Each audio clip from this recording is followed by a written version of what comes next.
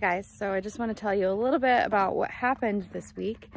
Um, so we needed to have part of our property cleared. Um, be putting in a septic system and some trees had to be taken down that had really huge um, stumps and it was just something that we knew that we couldn't tackle by ourselves. Um, last time we had to remove stumps, our neighbor came and used his excavator to get them out for us. So um, we kind of knew we had to hire this part out. So we, um, we got a quote and it was really, really reasonably priced. So um, we had two guys come out two days ago. They spent a good portion of the day kind of clearing out our land and then about a half day yesterday. Um, and I just want to show you what they did. So they took out all of the trees and the brush um, and they graded out kind of like a coarse rough grade here um, that this whole entire area right through here and then all the way down here. Um, this hopefully will be where our septic system gets put in. And as you can see, we have two huge burn piles that we're gonna have to get through. Two to three times bigger than our initial burn pile here that we did ourselves. But while the guys were here, we were like, hey, why don't you just clear out the rest of the clearing that we were going to do, rip out those large pine stumps, and then give our give our property just kind of like a nice grade. And they did. So all in all, you all know that Nathan and I love to do everything ourselves, but unfortunately this project was just way too big. Um, we don't have the equipment to rip out stumps at this point. Um, so it actually just worked out for time and finances just to have these guys come out and do it in a day and a half. Um, and we're really happy with how everything turned out. So once everything is cleared and ground is graded and tilled, we're looking at about three acres of workable, usable land for pasture, garden, and for our house. Um, at this point, we feel like it's, it's enough for now. Um, maybe in a couple years, if we want to do more, we'll look into clearing more. But I think three acres is, is perfect for our homesteading goals right now.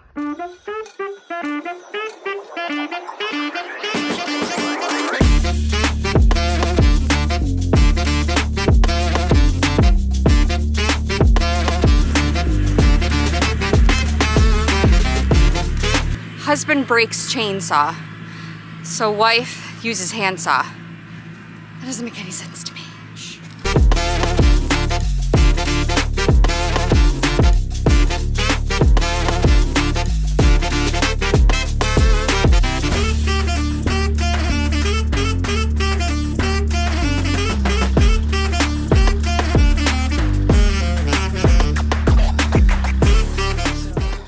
This is where we've been storing a lot of logs and uh, I got the tractor stuck.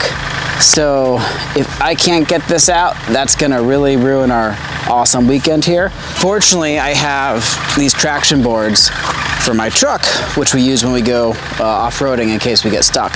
So we're gonna give this a whirl, see what happens.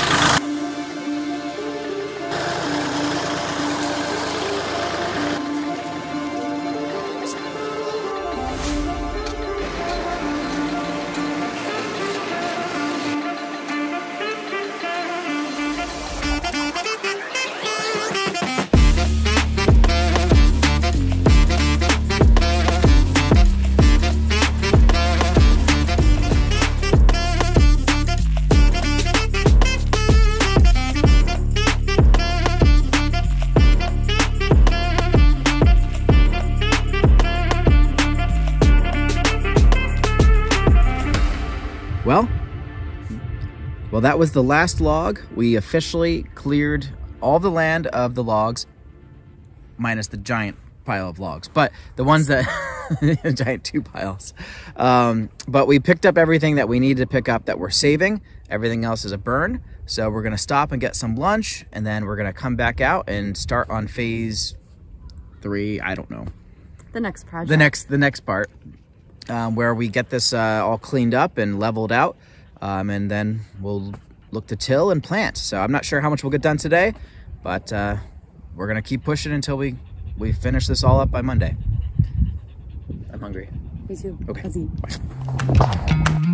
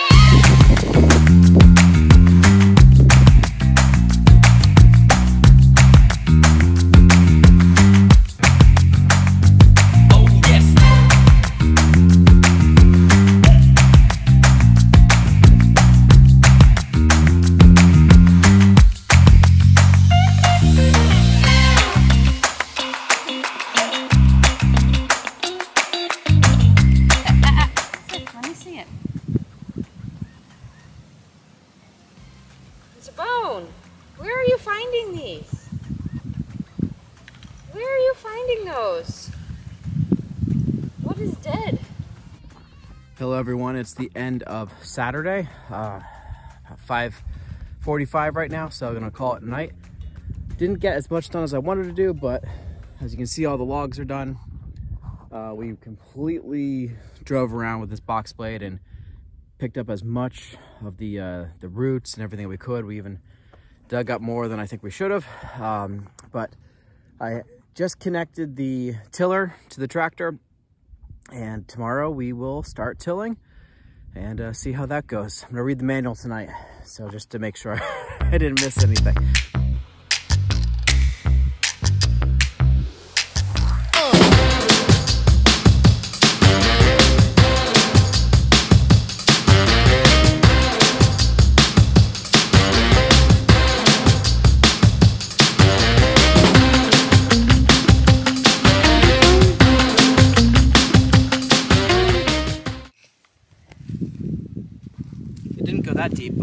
Only need to go, what, two inches deep? And this was our first pass.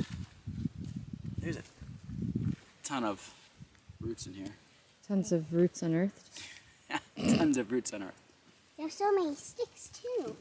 Those are the roots. We're gonna try to adjust it to make it go deeper, but it might just be a second pass as well. Um, let's see how it is over here. Oh, I mean, this is. Whoa. That. I put it down all the way over here. Maybe that's the difference. Yeah, this is perfect, right? Yeah, that's great. Two, that's two inches. Maybe that's. What are we gonna do? If you if Well- you smash a rock in here, it'll go so deep. It's tilled. Well, I guess um, I will do the rest of this. See how it goes. Okay.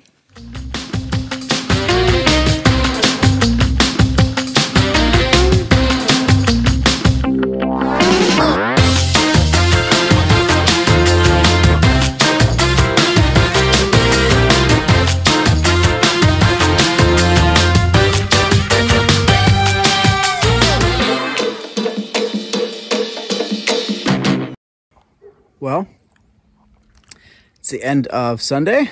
It's uh, just shy of six o'clock again, and we tilled about, I don't know, a third, maybe an acre of what uh, we have cleared here, and uh, definitely a learning experience.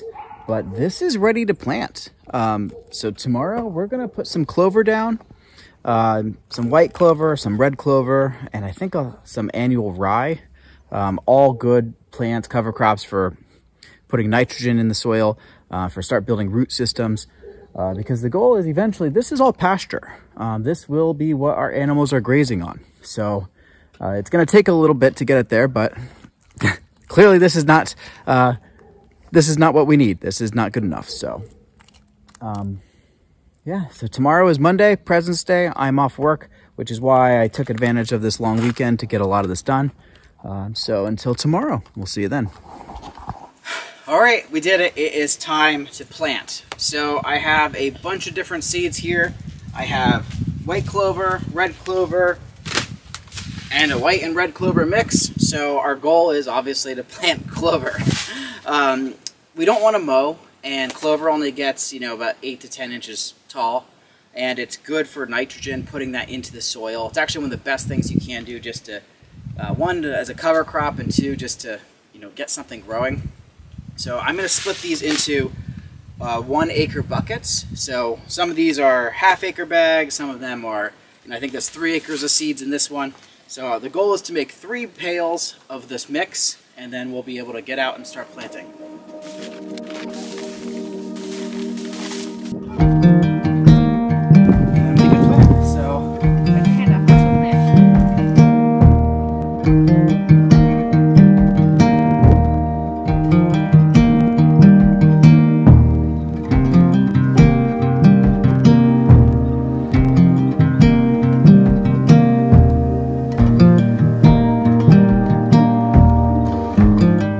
Those people saying, "Hey, why don't you use a broad broadcast spreader on this?" Well, it's very, very small. Um, I'm trying to even think what I would can explain it as. almost like a spice. So for most spreaders, it will just pour right through and won't be able to control it. But, you know, it's cover crop. I mean, I don't think I can screw it up too much. Could be wrong. All right, let's finish this up.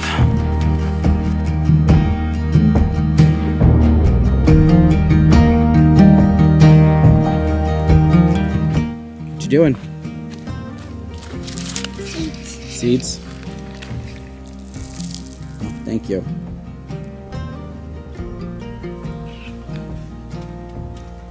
Are you all done sowing seeds? Mm, I'll just put them more in the same spot.